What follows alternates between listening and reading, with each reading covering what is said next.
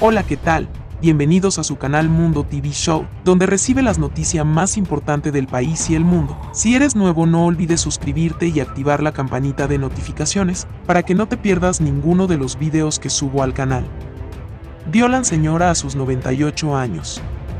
RD, en un acto de crueldad el violador la agarró a las 2 am, entró por la ventana y la golpeó, dejando su rostro lleno de moretones, según contaba la anciana. Ramona aguantó las ganas de gritar, tenía miedo de que fuera peor. Sangraba de sus genitales cuando su hija la encontró llorando destrozada en la cama. Las autoridades investigan este caso y esperan dar con el responsable, mientras la comunidad piden justicia y esperan que sea atrapado. Atrapan delincuentes que despojaron a prestamistas de una gran cantidad de dinero.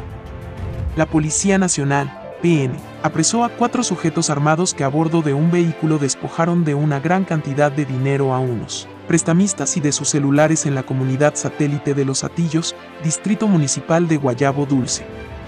Los desaprensivos emprendieron la huida e inmediatamente cometieron el hecho, por lo que varios ciudadanos trataron de detenerlos realizando tiros y chocaron el vehículo en el que se trasladaban los antisociales, provocando que uno de los desconocidos resultara herido.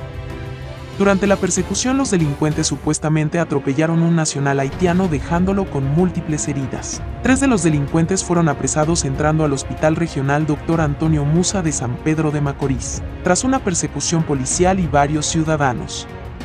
Los detenidos fueron llevados al Comando Regional Este en esa ciudad, desde donde lo llevarán en las próximas horas al cuartel de Ato Mayor.